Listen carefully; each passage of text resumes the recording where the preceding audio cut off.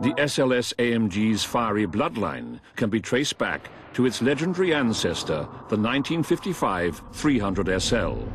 This is unmistakable in the upward opening gull wing doors and wide front grille. The SLS AMG is equipped with rear 20-inch 7-spoke light alloy wheels and composite ceramic disc brakes.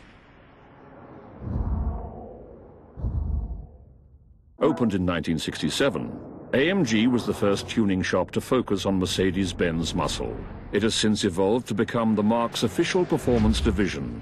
The SLS AMG, its crowning achievement. Built into its sweeping deck lid, a hidden spoiler keeps the car planted at speed. The clever wing deploys at 75 miles per hour and uses the wind to adjust downforce in milliseconds.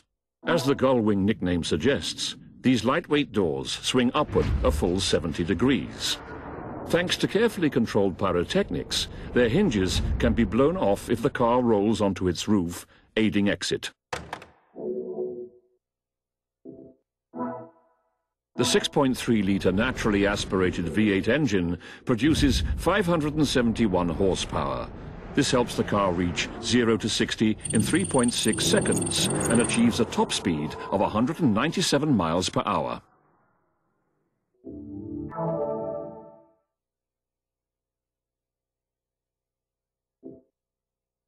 Inside the low-slung cabin, race-ready features hint at this supercar's true nature.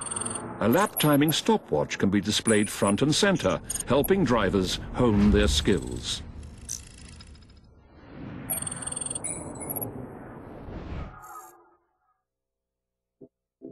The rear-wheel drive SLS AMG features a seven-speed paddle shift transmission.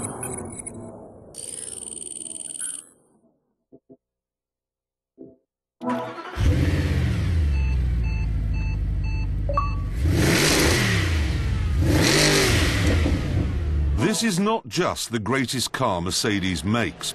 Right now, I think it's the greatest car in the world. It's more powerful than a Ferrari 458, just. It's a little bit louder than a Lamborghini, and it's way more fun than the 911 RS GT Turbo 3S, or whatever this week's Ultimate Beetle is called. This is the thinking men's supercar, the Mercedes SLS.